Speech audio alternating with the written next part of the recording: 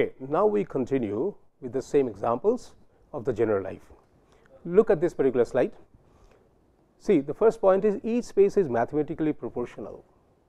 As I said that individual spaces are highly geometric, so they are mathematically proportional. They are not irregular. Okay?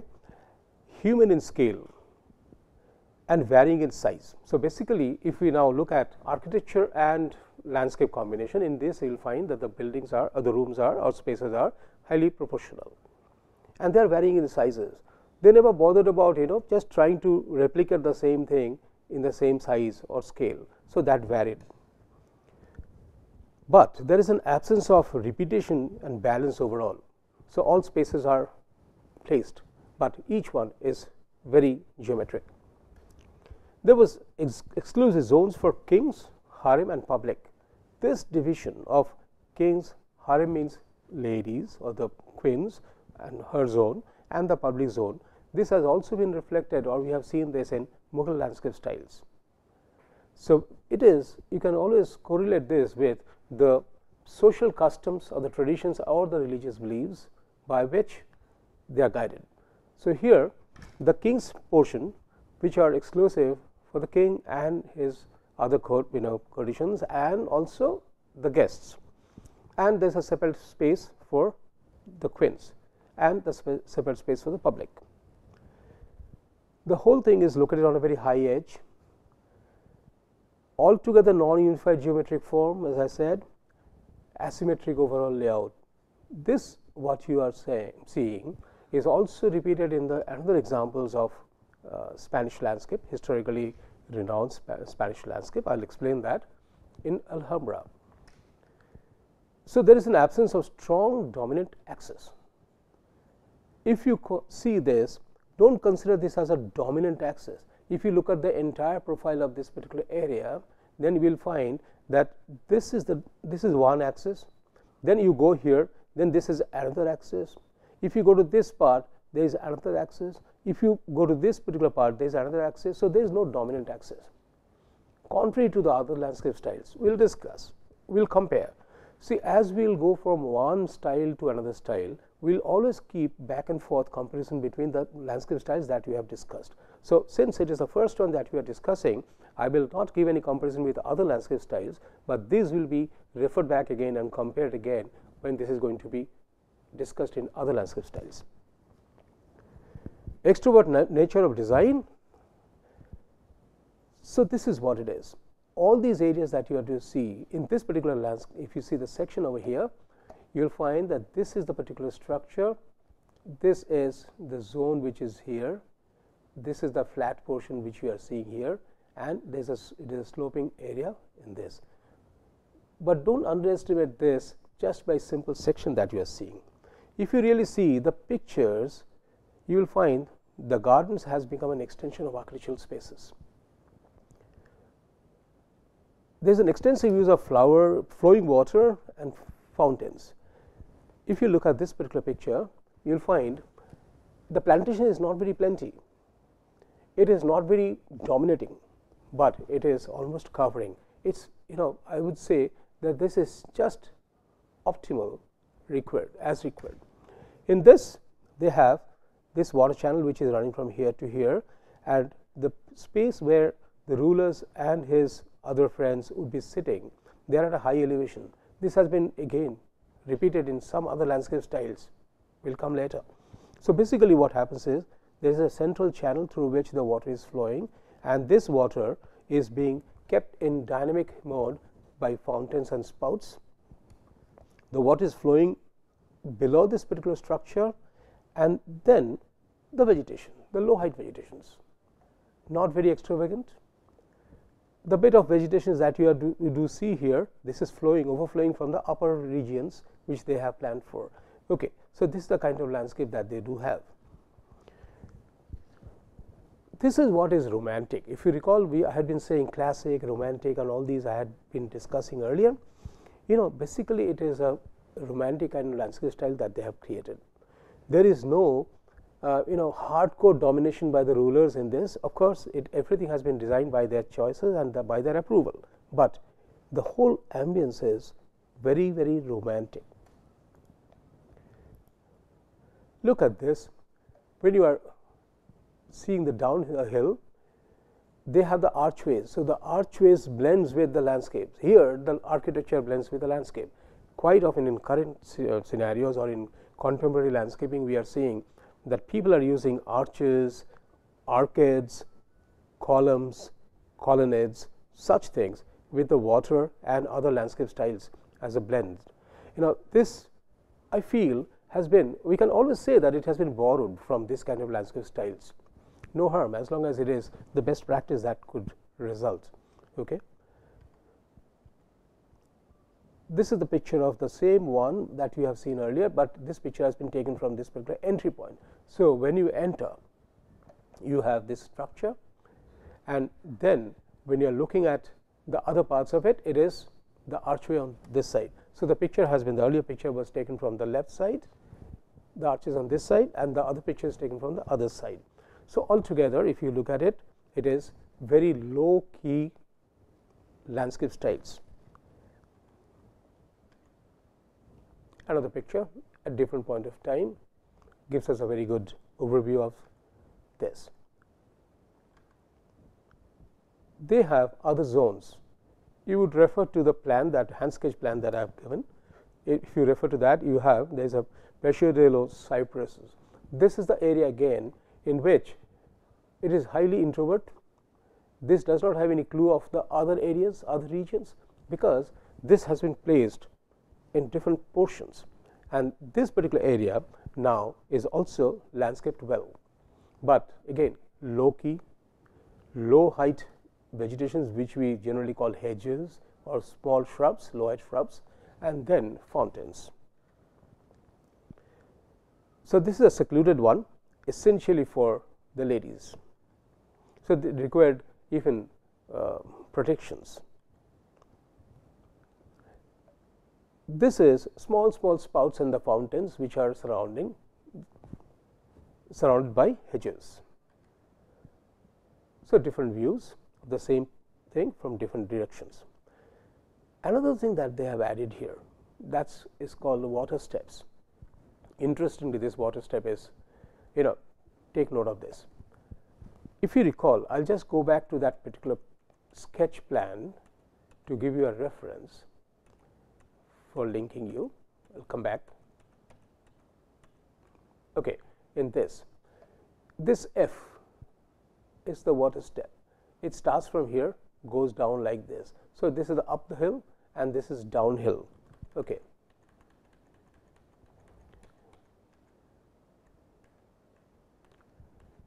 what they have created is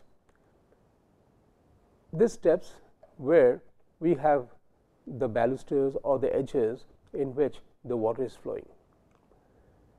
And this water when it falls from one elevation to the next elevation to the next elevation, then it creates a sound and that sound is a small you know a ripple sound which makes it very interesting. So, it is no longer a kind of thing kind of landscape which you view, it is also you know inciting your auditory senses. So, when you look at this kind of landscapes, you find a ripple sound. So, this becomes from the higher elevation when you keep on going down like this, the water flows on the sides. So, if you now walk along this and when the water is flowing that also cools the entire temple area. So, this is what is a water step. These water steps also has become a very important feature in many of the modern day landscapes.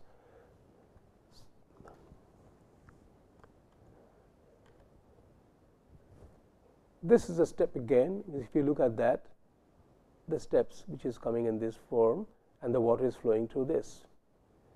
The water is also sometime allowed to flow through this particular steps. The steps is wet. So, what happens is if you walk on that you get a slightly wet steps. It is also very interesting kind of landscape feature which can be emulated even today.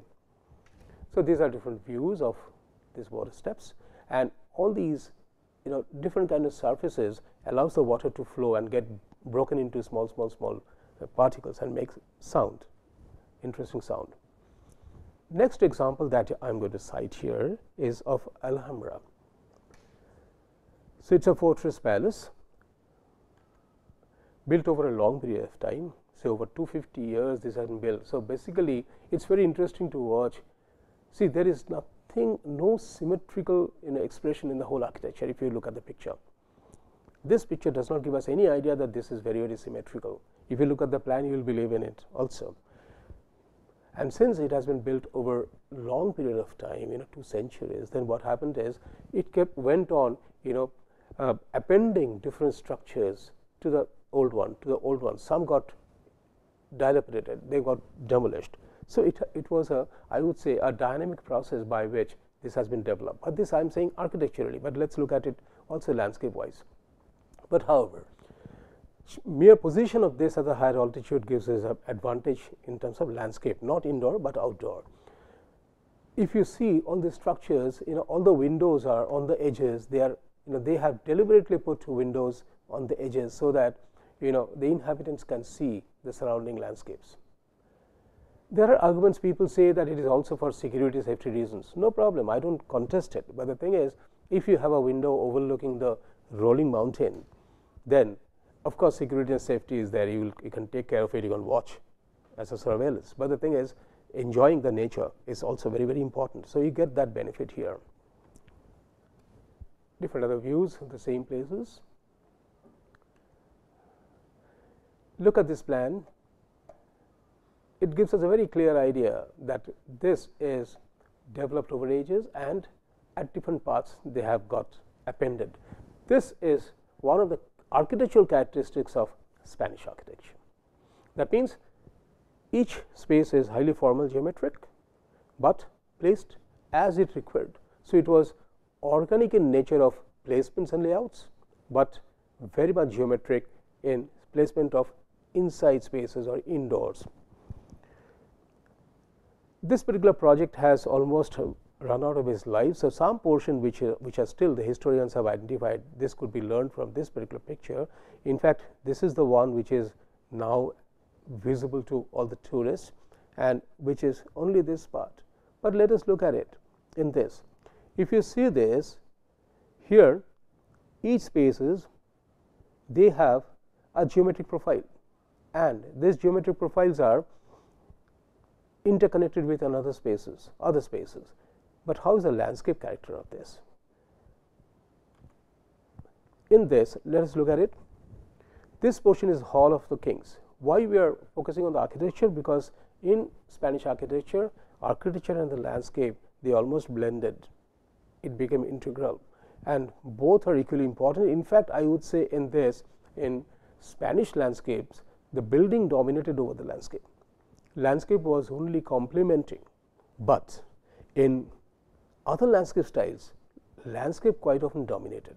So, if we in current scenario in contemporary situations, if suppose whenever we are trying to integrate landscape with the architecture, then Spanish landscape is, is the place where we can learn from.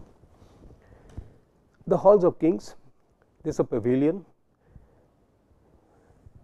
this is a court of lion, famous court of lion in which they have a series of stone lions, small small min miniaturized stone lions, they have put it here and they have the gargoyles or the spouts. Each lion's face is spouting water and the water is flowing from here to here. So, it is not an extravagant water zone, it is only the water is flowing from this particular zone to this particular zone and through spouts. So, what happens is what is the remaining area is dry, there is no landscaping done in this. Landscaping is this is the portion which we consider as the landscape zone. This is the Hall of Two Sisters, this is the bath and this is the court of the Myrtles, this is a tower of Comares. Now, let us look at this. These are all architectural, very much pure architectural. In this Alhambra, the best two examples that you find is one here and one here. So, there are examples which are in this halls of two sisters. The earlier picture was of the halls of the kings. These are halls of the two sisters. and this is the baths on the floor. This is a tower of Comares. This particular area is called Cuarto Dorado. Sometimes this you know pronunciation is very very difficult for these terms we are not used to it. Okay. Then this is a zone which is called a Mexuar. They have a mosque here and then this is the hall of Abencerrajes. This is the court of lions. Let us see, I might have a bigger picture of this, but however, looking at this itself, look, the entire portion is paved, this entire zone is paved, and then we have a court of lions, a series of lion, lion statues here. Each one of the mouth of these lions are gargoyles through which water will be spouted. And these are small, small channels on all four directions through which water is coming here and ultimately being spouted from here and also they have the spouts at this particular point. This is the court of the Myrtles. Look at this, the entire area is very much enclosed and at the central base they have a large water body and on the edge they have a very low height hedges. Interestingly, this is not an extravagant landscaping. So, what this Spanish landscape teaches us is you do not have to overdo, do not overdo in the landscaping. You do the landscaping as much as it is just required. So, just required means this is what brings us to a kind of philosophy that where some people think that the landscape should be adopting the minimalist approach. The moment you overdo, you forcefully put in landscape, then it becomes a landscape actions. But here it is an integral actions. People fail to realize when you have stepped from one architectural space to a landscape space or vice versa. This is something to be learned.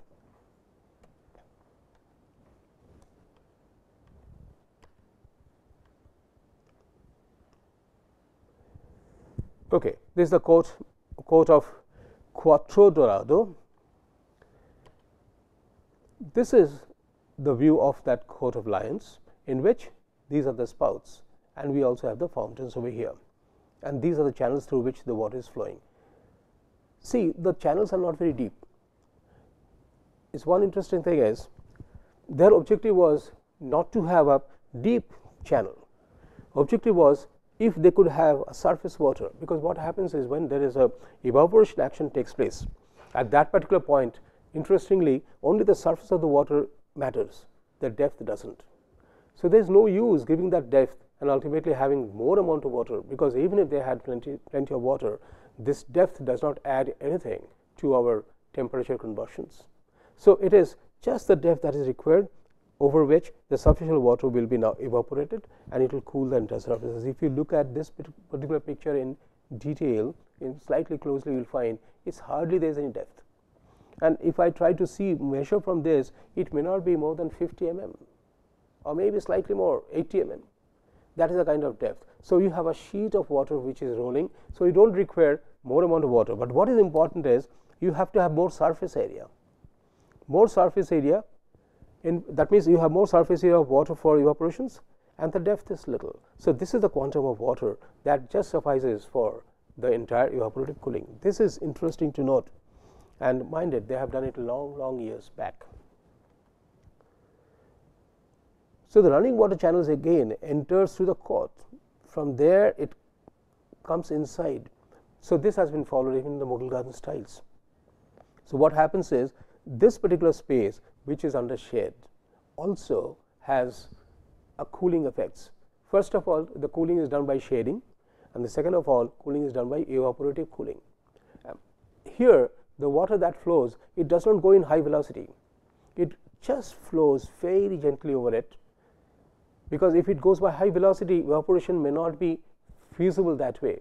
So, if it just remains, but does not remain static it just flows automatically there will be evaporative cooling that will take place. This is the fundamental that they have used very interesting. So, that is what I have said here similar composition is also found in the Red Fort of Delhi and Agra Fort. I will discuss that later. This is Paseo de lo Arenes coat of metals they call. If you look at this, it is a water body. See aesthetically, if you look at it, people get amazed to see that there is a nice reflection of the structure. But the point is, we are discussing about landscape especially. Of course, aesthetics also are part of the landscape. So, if you look at it, you do not see much of reflections of other greens and you do not have mu much greens either. So, what you have here is the water body and a very low height hedge that is enough and that creates a grandeur in this particular landscape styles. If you recall I was talking about the windows to overlook towards outside this is what it is. They have different such kind of punctures on the exterior wall. So, whenever they look around they will see the hills, they will see the sky, blue sky, they will see the greens and other structures, but they are at the lower altitude. So, they always overlook towards this. This is interesting. The Garden of Daraxa in which they have a very ordered landscape design and here you can see they have also used the vertical landscaping through creepers you know which are you know which are supported by the trees. So, this is again very inwardly introvert landscapes that they have created. I will summarize these.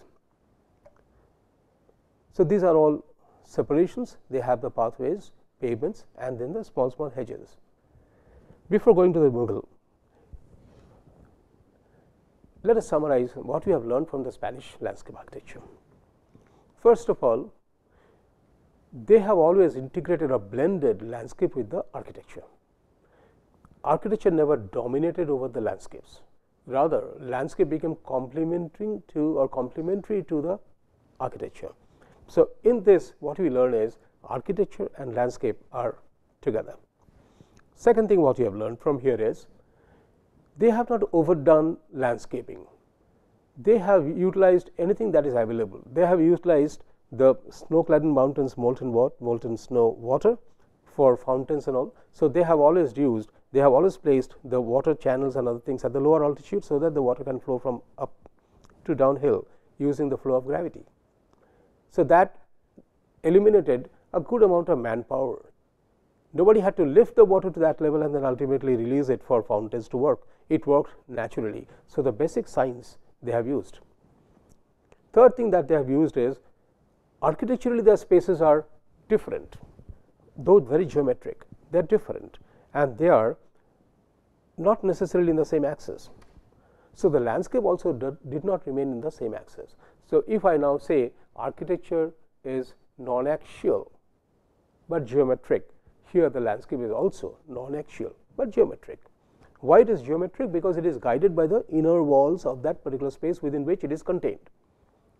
But however, the moment you walk into this, see through the picture, then you feel that you it is very much to the human scale and highly responsive and highly romantic. So, it was not the strong grandeur that you are forcefully being said, look at the landscape and enjoy. No, you as soon as you step into it, you start enjoying. At the same time, they have used the scientific phenomena of evaporative cooling. This evaporative cooling through court of lions, through flowing channels, through less shallow channels, wider shallow channels and the fountains, they have reduced the air temperature in the surrounding zones up to the human height. There is no reason that you have to cool all the parts or entire volume and that they have done it very, very intelligently. These are things to be learned. If you look at the Cordoba as an example in which the first idea or the intention of cooling an area for the benefit of the people is to be learned. So, this is what we have learned from the Spanish landscape uh, design and I can assure you if you look at the contemporary designs you will find it appears to be almost almost Spanish, but with a, a bit of mix of other styles. Now, let us discuss about the Mughal landscape style. See why Mughal I am placing immediately after Spanish because the concepts are similar. They have used the similar similar ideas, similar concepts, similar elements. So, element wise in the Spanish what we found? It is water body, fountain, vegetation, steps, pebbles, such elements. In Mughal also we find the similar things, but we are coming sequentially here. The baseline information location is India and the period is 1500 AD, latitude is 28 degree in Agra Delhi and 35 degree at Kashmir. Interestingly, in India we have two regions, one called uh, Delhi region and this is called Kashmir region. Delhi is typically hot arid zones and the Kashmir is cooler zones Kashmir is in the hilly area and Delhi is in the flat area. Interestingly, the whole Mughal garden concepts got developed in these two parts, which earned popularity in the history. So, longitude and latitude wise, longitude is 75 degree east. The climate is tropical climate, intense heat from March to June, monsoon from June to September. So, that is a kind of climate and of course, in the Kashmir region it is cooler all through. The terrain is flat in Agra and dry hot air and less vegetated at Agra or Delhi.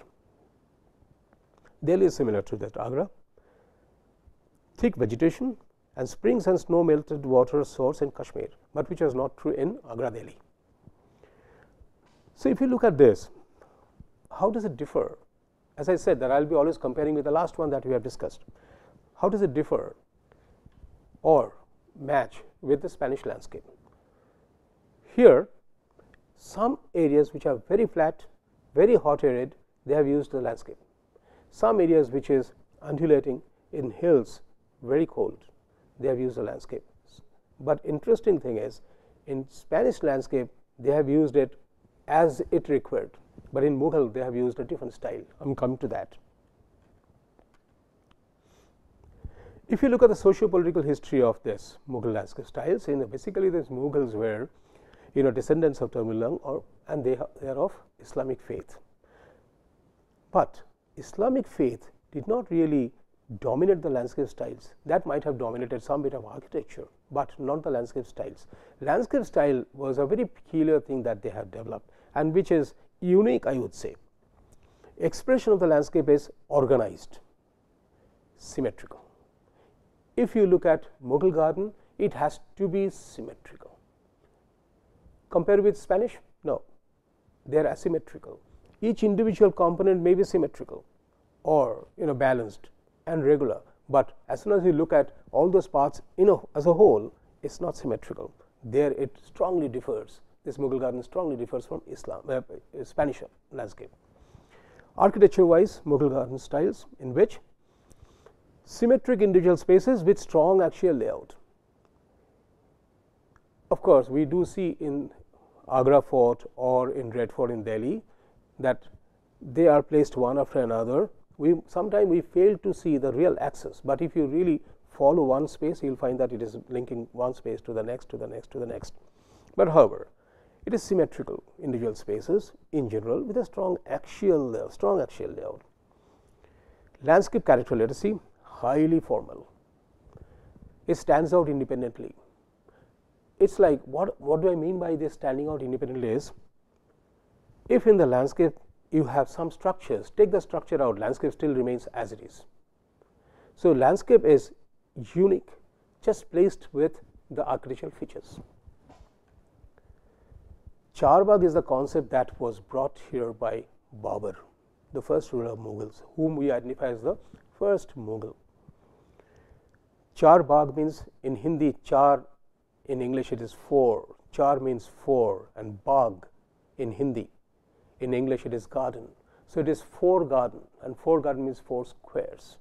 So, Char Bagh is a concept which was brought by Babur and first introduced in the example of Rambagh in Agra. Of course, the garden is in a bad state now, but however, that is the first start of the Charbagh and later on it had been followed. Everybody followed that till the Mughal gardens were developed by anybody. Historically, I will come to that historically a little later. Okay, what are the elements and materials? Water channels, fountains, baradari, chabutara, sloping water caskets called chadar. Let me just highlight baradari and chabutara. Water channels you have seen just like our Spanish gardens, fountains you have seen just like Spanish gardens. Baradari is a place you have seen in the Spanish garden as well. In Generalife, if you recall that once you see the first courts at the elevated level, the ruler's position, that is what is the Baradari. What they have done is, all these rulers, they always used to sit over the flowing water. So, whenever they were at the elevated position the water is to flow below them and that is to cool the entire temperature. So, they used to always have a very nice experience the water is to flow below that particular space that is what is Baradari. And Chabutara is a square podium which they are placed even over the cross of water, but very close to the water. Baradari used to be very high, it may be one floor above or it may be slightly half above, but Chabutara is almost above the water and that is the place eh, people used to have you know all kind of cultural activities or even the ruler used to sit with his Kurishans in such areas. Thank you.